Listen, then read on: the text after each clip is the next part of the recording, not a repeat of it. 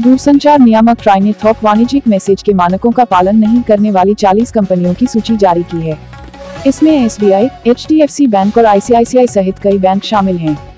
Try ने कहा बार बार याद दिलाने के बावजूद ये कंपनियाँ थोक संदेशों का पालन नहीं कर रही।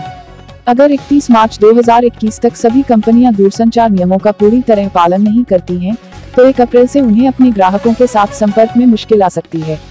ऐसे एस हुंडई लखनऊ को मिला तीन award. Hyundai Motors India Limited annual national digital dealer conference 2021 की ओर से एस एस हुंडई लखनऊ के एमडी गुंजित कालरा को 2020 के लिए best institutional sales best workshop referral और best in order retail volume से सम्मानित किया गया। इस मौके पर एस एस हुंडई के मैनेजिंग डायरेक्टर ने सभी ग्राहकों और एस शून्य शून्य एस परिवार का आभार व्यक्त करते हुए, भविष्य में भी अपने ग्राहकों को इसी प्रकार की सेवाएँ देने का वादा किया।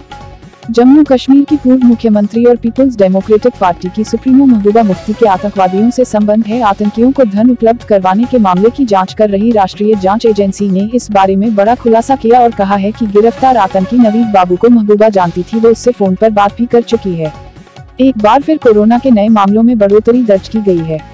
पिछले 24 घंटों में कोरोना के बासठ हज़ार से ज़्यादा नए मामले सामने आए हैं, जो कि पिछले 160 दिनों में सबसे ज़्यादा है। 24 घंटों में कोरोना के चलते दो सौ इक्यानवे मौतें हुई। अब बिहार पर मंडराया कोरोना का संकट 10 मार्च को बिहार में 90 कोरोना के मामले मिले थे यह सिलसिला अनवरत बढ़ता जा रहा है। 20 मार्च को अट्ठासी 21 को 126, 22 को 90, 23 को 111, 24 को 170 और 25 मार्च को दो सौ अट्ठावन संक्रमित केस मिले। भारत के पूर्व ओपनर सचिन तेंदुलकर को कोरोना हो गया है। मास्टर ब्लास्टर ने इसकी जानकारी सोशल मीडिया के ज़रिए दी। कोरोना पॉजिटिव पाए जाने के बाद सचिन के कहा कि उन्होंने खुद को होम क्वारंटीन कर लिया है। देश में कोरोना की दूसरी लहर ने कहर बरपाना शुरू कर दिया है। ऐसे में केंद्र और राज्य सरकार हाई अलर्ट पर हैं और यूपी में सभी जिला प्रशासन सावधानी बरतने के लिए तैयार हैं। सूत्रों के हवाले से खबर मिली है कि कोरोना वायरस के बढ़ते मामलों को देखते हुए उत्तर प्रदेश में नाइट कर्फ्यू लगने वाला है। सीएम और अधिकारियों ने लिया फैसला एक अप्रैल के बाद से राज्य में नाइट कर्फ्यू के नियम लागू हो जाएँगे। उत्तर प्रदेश में कोरोना संक्रमण तेज़ी से बढ़ता दिख रहा है।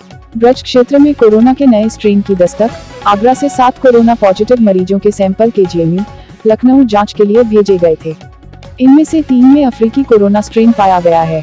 इसके अलावा मथुरा जनपद से भेजे गए सैंपल में बरसाना निवासी व्यक्ति को कोरोना के अफ्रीकी स्ट्रेन की पुष्टि हुई है।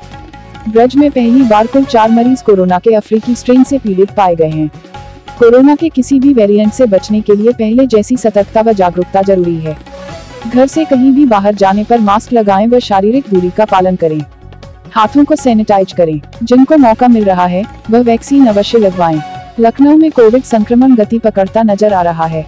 बीते 24 घंटे में लखनऊ में कोरोना के तीन नए मामले सामने आए हैं।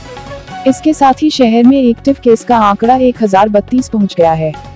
राज्य में लखनऊ ऐसा शहर है, जहाँ कोविड के सबसे ज़्यादा मामले सामने आ रहे हैं। यूट्यूब चैनल को सब्सक्राइब करें।